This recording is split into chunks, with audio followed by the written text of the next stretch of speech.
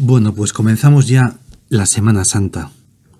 Yo no sé si el año pasado nos acompañaste en 10 minutos con Jesús, pero este año queremos hacer lo mismo que hicimos el año pasado, que consistió en entrar en el Evangelio como un personaje más. Todos los días santos están documentadísimos en los Evangelios. Sucedieron muchísimas cosas y entrar directamente en el año 33. Hoy es domingo. Nos hemos levantado prontísimo. Apenas amanece y Jesús ya está dispuesto para caminar y hacernos caminar. Nos encontramos en la región de Perea. Está justo al otro lado del Jordán, a unos 30 kilómetros de Jerusalén.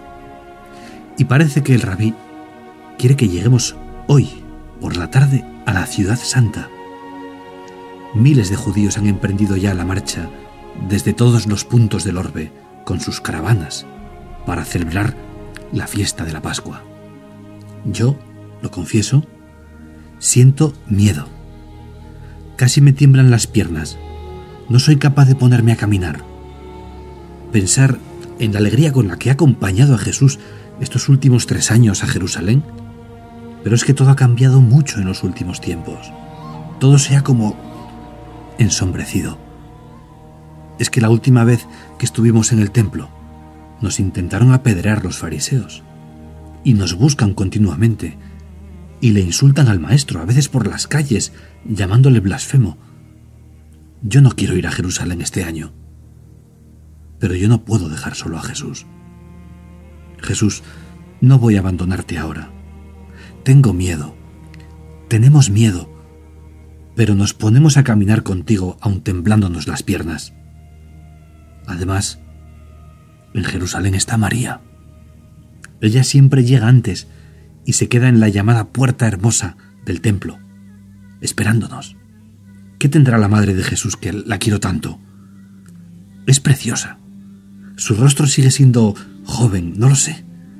Pero cuando he hablado con los discípulos sobre Miriam, a todos nos pasa lo mismo. Es como si viviéramos bajo su encanto, no sé, el encanto de su belleza, de su gracia, cada uno piensa que es especial. Pienso en ver a María y es que se me quita el miedo. Bueno, hemos salido ya del pueblo en el que estábamos alojados y cuando todavía estaba al alcance de nuestra vista el humear de las chimeneas, hemos oído la voz potente y jadeante de un joven que se acerca a nosotros corriendo. Es un joven de bello aspecto, está ricamente vestido. Sin mediar palabras se arrodilla delante de Jesús y le dice sin más que qué tiene que hacer para heredar la vida eterna. Ya se ve que este es un hombre práctico. Y Jesús le contesta que cumpla los mandamientos. Pero parece que este joven quiere más. Parece un buen hombre que siempre ha acogido la ley de Moisés en su vida. Y en este momento Jesús le mira con una mirada de predilección. Es una mirada que solamente la he visto cuando habla con Juan, que es el discípulo más amado de Jesús. Es una mirada que no se puede describir la mirada de Jesús. Son unos ojos que miran directamente al corazón y vierten en él algo misterioso. Creo que eso que regala Jesús, que es tan atractivo y poderoso y amable y bello, es, eso es lo que hace que le sigamos todos, incluso mientras nos tirita el cuerpo de miedo. Qué curioso, Jesús le ha dicho a este joven con toda la ternura de su corazón que venga todo, que venda todo y que nos siga. Y se ha marchado. No le ha dicho que sí. Pero ¿cómo es posible? ¿Cómo este joven tan majo puede ser tan ciego? Vino corriendo hacia nosotros y ahora se vuelve como alicaído hacia su villa, con los hombros caídos. Jesús ha reemprendido el camino, a buen paso, y se ha hecho el silencio. Creo que Jesús está pensativo con lo que ha sucedido. Él siempre camina por delante de nosotros y nosotros le seguimos allá a donde nos lleve. Y de repente frena el paso, se da la vuelta y nos dice estas palabras. Hijos, anda, nos ha llamado hijos. Esto es nuevo para mí. Hijos, qué difícil es entrar en el reino de Dios. Es más fácil que un camello pase por el ojo de una aguja a que un rico entre en el reino de Dios. Esto nos ha dejado a todos un poco noqueados. Ese joven, a pesar de su debilidad, nos ha parecido buena persona. Yo le he preguntado a Pedro en voz baja, es como si me saliera de dentro. Entonces, ¿quién podrá salvarse? Y Jesús, que cuanto más bajo hablamos, más escucha, porque parece que escucha lo que llevamos dentro. Me ha dicho con una voz que resuena y que hace eco, para los hombres salvarse es imposible. En cambio, no para Dios, pues para Dios todo es posible. Y Pedro, que está como muerto de miedo, como todos, y que se está jugando la vida como todos, le dice a Jesús en nombre de todos, Jesús, ¿y nosotros que te estamos acompañando a la muerte, nosotros que hemos dejado todo y que te hemos seguido? ¿Qué será de nosotros? Tenemos miedo, Jesús.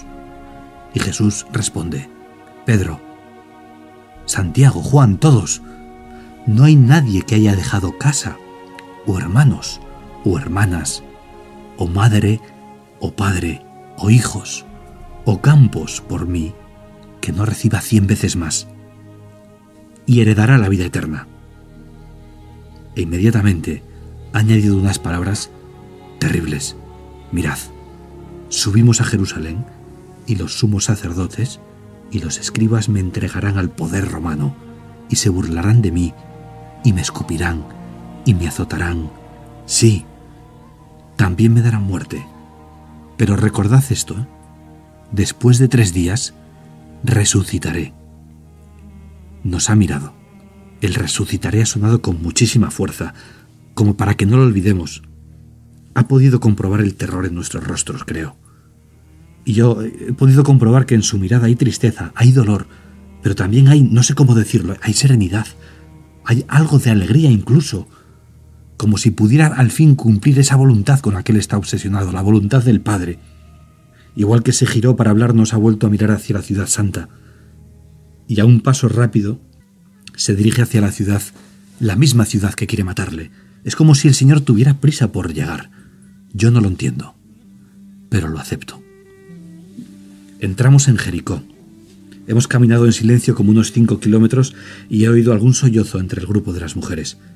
Menuda algarabía que se está montando en esta bellísima ciudad de Jericó, antigua. Intentamos avanzar, pero no hay manera. Anda, pero si ahí está colgado un hombre en un sicómoro. Jesús se detiene a hablar con él. Es graciosa la escena, Jesús mirando hacia arriba. Y se autoinvita a comer, a la velocidad del rayo. Es increíble la capacidad que tiene Jesús para meterse en la casa de la gente. Jesús, métete también en mi casa. Los discípulos Aprovechamos para tomar un tentempié y al poco rato ya vemos a Jesús que regresa. El maestro está visiblemente contento. Y Zaqueo más. Tiene un rostro distinto al de antes. Es como si hubiera rejuvenecido este hombre diez años. Como si le hubieran quitado 30 kilos de peso. Se le nota ligero. Alegre Jesús. Ya se ve que has querido hacer una de las tuyas con él. Y enseguida salimos a toda prisa hacia Jerusalén. Nos quedan unos 20 kilómetros. A la salida de la ciudad de Jericó, hemos oído unos gritos desesperados que dicen, Hijo de David, ten compasión de mí, Hijo de David. Pero ¿de dónde vienen estos gritos? Algunos increpan a su vez mandándole callar. Jesús tiene prisa, tiene mucha prisa por llegar a Jerusalén. Sin embargo, se detiene. Jesús, tú siempre te detienes cuando te llamamos. Es un hombre ciego de nacimiento. Bartimeo es su nombre y le está diciendo a Jesús que lo único que quiere es ver. Jesús le ha llamado y a pesar de la ceguera se ha levantado a toda prisa y ha tirado el manto. El maestro le dice, Bartimeo, vete, tu fe te ha salvado. E inmediatamente se le han abierto los ojos. Es impresionante. Y sus ojos abiertos están viendo lo mejor que se puede ver, el rostro de Jesús. Está maravillado no deja de mirarle. Nada le importa ni el color de los árboles o el azul del cielo por estrenar en sus retinas. Él solo mira a Jesús. Es una escena silenciosa que dura medio minuto. Jesús además parece que no tiene prisa y tiene mucha prisa. En un momento determinado Jesús le sonríe y se da la vuelta. Y el ciego Bartimeo le sigue como si estuviera imantado. Ni siquiera recoge su manto, simplemente le sigue. Y se me viene ahora el recuerdo del joven rico de esta mañana. Pobre lo que se está perdiendo. Ese sí que está ciego y no Bartimeo. que no ha dudado en convertirse en un discípulo más de Rabí. Bueno, hemos andado ya 20 kilómetros desde Jericó sin descanso, solo en una fuente hemos parado a beber y a comer algo que nos ofrecieron por el camino. La cuesta a la llegada de la ciudad santa se hace cada vez más inclinada. El desnivel es potente, nos fatigamos, pero Jesús no aligera el paso. Hemos llegado a Betfagé y a Betania. Es casi la hora nona, las seis de la tarde casi, y junto al monte de los olivos, Jesús envía a dos de nosotros a la aldea. Les dice en voz baja que entren en una determinada casa, que encontrarán un pollino sobre el que nadie ha montado antes y que lo traigan. ¿Para qué lo querrá? Es el transporte que suelen utilizar algunos de los mandamás del templo, pero Jesús nunca lo utiliza. Han tardado poquísimo en regresar con un asno de un pelo precioso del que Jesús dice que nadie ha montado antes sobre él. Y Jesús, de repente para sorpresa de todos, se monta encima. Y a paso majestuoso, ahora lentamente, sin prisa, avanza sobre la ciudad santa recortada con su majestuosa figura. A pesar de todo, él avanza con esa humildad que nunca le abandona, ni siquiera en los grandes milagros. Y según entramos en la ciudad, cada vez más gente se agolpa para recibir a Jesús. Es sorprendente. Por las callejuelas se grita que ha llegado el Galileo, que está aquí Jesús el Nazareno, el hombre de los milagros, el hijo de David. Y espontáneamente los judíos van tendiendo sus mantos sobre el suelo y las ramas de olivo cortadas, le reciben como a un emperador. Yo voy detrás pensando para mí, pero qué grandeza, qué maravilla. ¿Y si resulta que al final lo hacen rey? ¿Y si no se cumplen esos oscuros presagios que nos ha dicho el maestro por el camino? Y hay gritos de júbilo. Osana, Osana, bendito el que viene en nombre del Señor. Osana en los cielos altísimos. Nunca jamás había sentido tanto el fervor de los sencillos y también de algunos poderosos que están recibiendo a Jesús.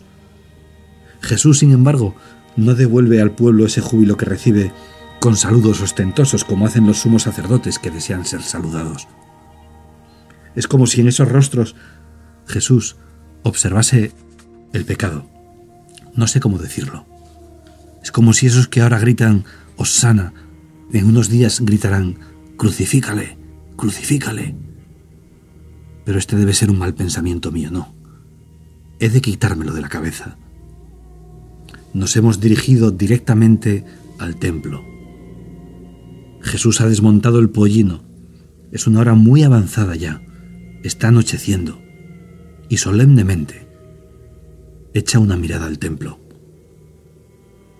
¿Qué estará pensando Jesús? Jesús, ¿qué estás pensando mientras miras ese templo? Es un templo que ahora se me hace incluso más pequeño que antes. No sé. Es como si Jesús mismo fuera el Dios de esa miniatura que los judíos llaman templo. Hemos salido por la puerta llamada Hermosa para dirigirnos hacia Betania, donde pasaremos la noche en casa de Lázaro, Marta y María. Y adivina quién está esperándonos en la puerta hermosa, para acompañarnos estos días para no dejarnos. Adivina quién nos espera. Yo la miro. No puedo dejar de mirarla. Es que siempre, siempre me acerco a ella. Siempre. Y a veces me acaricia con sus ojos. Y me he acercado a ella y le he dicho, María, ¿qué tienes? ¿Por qué me quieres tanto? Te doy gracias, Dios mío, por los buenos propósitos, afectos e inspiraciones que me has comunicado en esta meditación, te pido ayuda para ponerlos por obra. Madre mía Inmaculada, San José, mi Padre y Señor, Ángel de mi guarda, interceded por mí.